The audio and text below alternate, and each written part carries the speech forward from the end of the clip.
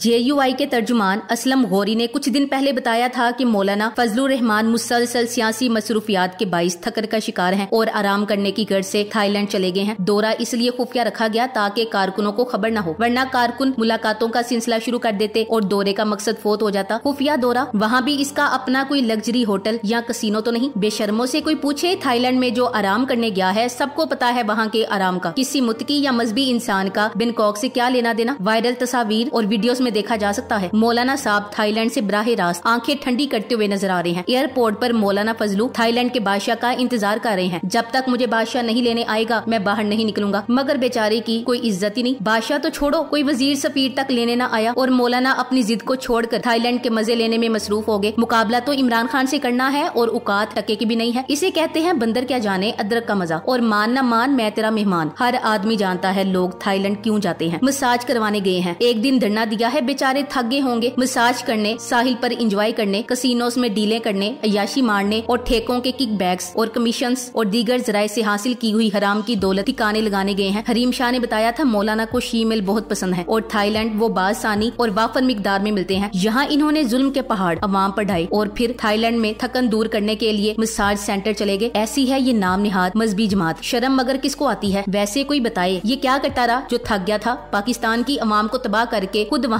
Massage कराने चला गया। अच्छा है, अवाम भी इसी काबिल है। खुद गर्मी में खबार हो, ये मसाज करवाई थाईलैंड एक ऐसा मुल्क है, जिसकी नब्बे फ़ीसद कमाई हम जिन्स प्रस्ती है। वहाँ की हुकूमत ने इसे ही अपना रोज़गार बना रखा है। आप लोगों को याद होगा, ऑस्ट्रेलिया का सबक क्रिकेटर शीन वान भी थाईलैंड के एक क्लब में मुर्दा पाया गया, जिसकी मौत ज़्यादा शराब पीने की वजह से हुई थी। मौलाना के साथ ही कहते हैं, वो सदर बनने की तैयारी कर रहे हैं। कोई यान अली ढूंढ रखी होगी। इसी के लिए थाईलैंड गए थे। मौलाना फजल रहमान वज़ीर तो क्या कौमी असम्बली के मेंबर भी नहीं है। फिर वो वज़ीर आज़म के जहाज़ को क्यों इस्तेमाल कर रहे हैं? क्या सरकारी खर्चे पे थाईलैंड का दौरा करना हराम नहीं? तो मौलाना ने पहले कब हलाल खाया है? जो अब इन्हें हलाल और हराम की फ़िक्र होगी, इन करप्ट लोगों के लिए हराम भी हलाल है। जहाजों पर सफ़र करना, वो भी कौम के खर्च पर जायज़ और हलाल और शरीयत के एन मुताबिक है। थाईलैंड में मौलाना दीन की तबलीग के लिए गए थे। वैसे तो सरकारी पैसे पर हज उमरा भी हराम होना चाहिए। वो अवाम के टैक्स का पैसा है। इन बेगैरतों के लिए नहीं है। लेकिन सब हराम चीज़ें मौलाना के लिए हलाल है। फजलू रहमान मुसलसल, बगैर किसी सरकारी मनसब के वज़ीर के जहाज़ को टैक्सी की तरह इस्तेमाल कर रहे हैं। अब कोई नैब इन पर जहाज़ इस्तेमाल का मुकदमा नहीं बनाएगा। एयरफोर्स वन को रिक्शा बनाया हुआ है। माशी अदम इस्तेकाम मगर निजी दौरों पर भी रियासती वसाइल का बेदरेक इस्तेमाल हो रहा है। मोजा लगिया ने अब तो फजलू सरकारी वसाइल में सरकारी खर्च पर अयाशियाँ और मसाज करने के बाद वापस पहुँच गए हैं। थाईलैंड से रवानगी के वक्त जो चीज़ सबसे पहले पाकिस्तान पहुँची, इस पर लिखा था, मौलाना साहब थाईलैंड से चल पड़े हैं। मुल्ला फजूल थाई मसाज कोर्स मुकम्मल करने के बाद हुकूमत पाकिस्तान के खसूसी त्यारे ऐसी वतन वापस पहुँच गए। मुला उर्फ़ डीजली का दौरा तवक्का से ज़्यादा कामयाब रहा। ये निजी दौरा था, सिर्फ़ मसाज कोर्स के लिए। अब रिलैक्स होकर चोरों की खिदमत करेंगे। इनकी ये वाली मौजें पहले बंद थी। अब वाम महँगाई में मार रही लोगों को गर्मियों में गैस की लोड शेडिंग बिजली की लोड शेडिंग कीमतें आसमान को छू रही और इनके तो मज़े चल रहे। जालिम बोल बैठे हैं कि अल्लाह के यहाँ भी जाना है। उसे भी मुँह दिखाना है और अल्लाह कहता है, शायद अपने हुकूक माफ़ कर दूँ। लेकिन बंदों के हुकूक तब तक माफ़ नहीं करूँगा, जब तक वो खुद माफ़ न कर दे और अवाम इनको कभी अपने हुकूक माफ़ नहीं करेगी। हक का रास्ता अगर इतना आसान होता तो मौलाना फजल रहमान मरियम की बजाय आफिया सदीकी के साथ खड़ा होता। ऐसे लोग होते हैं, दीन की आड़ में दुनिया कमाने वाले। मुल्क के हालात बदतर हैं और इन साहब को दौरों से फुर्सत नहीं। फिर अगर इनको डीजल या कुछ और कहो तो फ़ौरन फतवा जारी हो जाता है कि उल्मा को बुरा नहीं कहते। मतलब कि दाढ़ी रखकर सब जायज़ होता है। इसीलिए इन्हें और इनके सहूलतकारों को इमरान खान अच्छा नहीं लगता, जो पानी की बोतल भी जाया नहीं करता। तिहत्तर के आइन के तनाजुर में फजलू के लिए सब हलाल और जायज़, जबकि बाकी सब के लिए हराम है। पाकिस्तान से निकले तो मौलाना की कहानी में ट्विस्ट आ गया। निकले तो मौलाना लंदन के लिए थे, फिर स्क्रीप में रद्दोबदल हुआ और जहाज़ थाईलैंड जाकर रुक गया और इनके तर्जुमान का कहना है, दौरा खुफिया रखा गया, क्योंकि मौलाना को थकन हो गई थी। लिहाजा कुछ दिन थाईलैंड में रहकर आराम करेंगे। जो ममालिक इनको इमदाद और कर्जा देते हैं, इनके लीडरान अपने दफातर में साइकिल पर सवार होकर आते हैं। तो क्या हुआ, इन पर तो अवाम का पैसा हलाल है? बस अवाम का पैसा अवाम पर हराम है। अवाम के पैसों के असल मालिक तो सारे सियासतदान है। कोई कम खाता है तो किसी को हिस्से में ज़्यादा आता है। मौलाना फजलू रहमान थाईलैंड में निजी दौरे पर क्या करने गए हैं? जराये के मुताबिक फजलू रहमान इस वक्त थाईलैंड के शहर बिनकॉक में